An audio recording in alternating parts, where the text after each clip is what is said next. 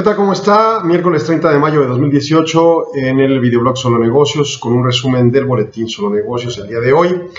Encontramos eh, mercados eh, reactivados después de haber algunos comentarios interesantes en materia política, otros temas de tensiones geopolíticas comerciales fundamentalmente. Y bueno, pues vamos a empezar. El mercado de divisas en particular, tenemos una influencia directa de parte de Italia, en donde el partido uno de los partidos extremistas que tuvo eh, a, bien ganar las elecciones pasadas, junto con el otro que tendría que trabajar en posiciones de coalición, al parecer va a ceder en planteamientos que no se habían querido ceder y por lo tanto no se habían logrado las coaliciones correspondientes. En ese alcance, entonces, pudiera evitarse la elección de otoño y la oportunidad de que uno de estos partidos quedara con una mayoría tan eh, grande que pudiera llevar a pensar en el, en el referendo de facto, ¿no? Para salirse Italia de la Unión Europea. Entonces, en esa tesitura, bueno, pues se deben un poco las tensiones. Habrá que ver si los planteamientos expuestos y, la negociación intentada tiene un fruto y un futuro eh, benigno.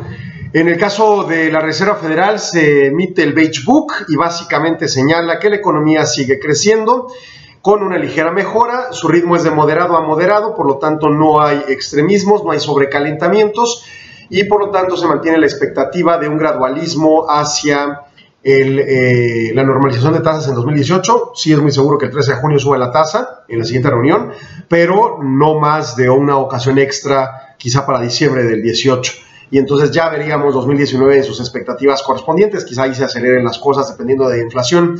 En el caso de Banco de México se emitió el informe trimestral de la economía y bueno, pues eh, hace un planteamiento de cero cambios de, pronósticos con respecto a variables de crecimiento e inflación y refrenda una posición gradualista en la normalización de la tasa mexicana. ¿Qué pasa ahora en junio? Sube la tasa la Reserva Federal probablemente y no necesariamente lo va a hacer el Banco de México. Dependerá de las presiones inflacionarias que se susciten a partir de las siguientes reuniones, ya después de la elección mexicana y de confirmado un triunfo presunto, a menos que se quede muy empatado uno y dos eh, candidatos y que esto se tenga que ir a juicio incluso, bueno, pues entonces eh, técnicamente podríamos ver una, una pausa ¿no? en la necesidad de alzas de tasa y, y, que se más o menos empareje con la Reserva Federal del Banco de México.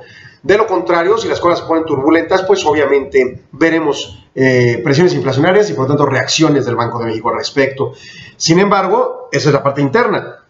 Como lo hemos venido platicando aquí en el videoblog y, escribiendo ya de hace, mucho tiempo en el boletín, pues básicamente encontramos que el sector externo tiene una influencia mucho más pesada que lo que propiamente internamente en México ejercemos normalmente, al menos por la inercia de las actividades gubernamentales esto es eh, el, inicio y el fin de un gobierno, pues no modifica mucho su actuar, solo al principio, ¿no? Las reformas estructurales de Enrique Peña Nieto, entre otras, como un ejemplo.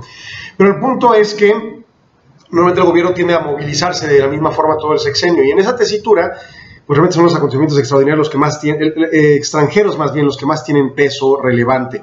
Y por lo tanto, bueno, pues eh, esto que le digo de que el Banco de México no necesariamente suba la tasa, solo está atado a un criterio interno y no necesariamente a las perspectivas extranjeras como el proteccionismo norteamericano, como el Tratado de Libre Comercio, como la potencial crisis de precios en materia de commodities y en particular en materia de petróleo que pudieran eh, eventualmente aparecer, ¿no? Eh, en Estados Unidos, dos indicadores, empleo privado 178 mil en mayo, mejor, menor de lo esperado, y el PIB revisado el primer trimestre un poquito menor a lo que se tenía estimado, estaba en 2.3, bajó a 2.2%. Petróleo subió, aunque la mezcla mexicana bajó ligeramente, pero en realidad se apuntaló. Mañana tenemos eh, reporte prorrogado de uh, este, inventarios en los Estados Unidos de petróleo y bueno, pues veremos, eh, la expectativa es que bajen, ¿no? Y bueno, el que se mantenga el precio bien en este momento pudiéramos entrar en una discusión presupuestaria en México. ¿Por qué no bajar el IEPS gasolinas? Si en este momento tenemos un petróleo por encima de los 60 dólares por barril cuando el compromiso está en 42. O sea, tenemos eh, más de 18 dólares por barril, que si bien son pocos los barriles porque cada vez se cae más la producción, lo cierto es que está habiendo excedentes petroleros. ¿Qué se hace con ese dinero? ¿Y por qué nos cobran por otro lado IEPS gasolinas? ¿Por qué no empezar en la discusión del presupuesto 2019, independientemente del candidato que gane, que desaparezca el IEPS gasolinas en un principio de coherencia en la estructuración de precios. Luego tendremos que discutir la parte ambiental, porque realmente el IEPS gasolinas es un, es un impuesto ambiental, más allá del recaudatorio, que en realidad así lo ha manejado el presidencialismo de Enrique Peña Nieto en la perspectiva de sustituir la petrolización con, la gasolina, lo cierto es que encontramos que, ha sido recaudatorio, pero en el fondo y de origen, el JEPS gasolinas es ambiental y entonces dependiendo cómo querramos eh, cuidar nuestro medio ambiente, pues nos cobraremos los impuestos que corresponden. Básicamente la esencia del boletín, eh, el soporte 18.60 la compra y resistencia a 20 pesos la venta al mayoreo, spread 1.11 sin cambios y en materia de futuros, pues eh, ligera mejora.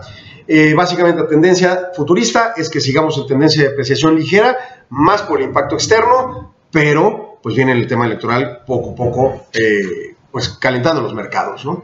Básicamente lo que tenemos el día de hoy. Muchas gracias por su atención. Hasta la próxima.